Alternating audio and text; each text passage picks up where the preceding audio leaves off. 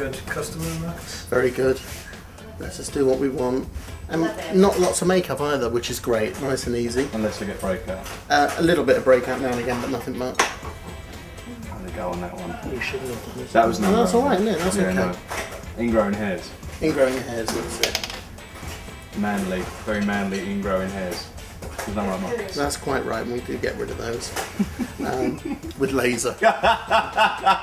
We've got a laser in the drawer down there, but it doesn't come out that often, does it, Russell? What is it you're putting on me now, Marcus? This is your base. It's a minerals base, minerals makeup. Just a little bit of coverage. Mm. It's quite nice. It's quite natural. Goes on nice and easy. Mm-hmm. This is very good. He comes in shaved in the morning. you get into a routine, and it's uh, good, and you obviously have banter with Marcus and Jen.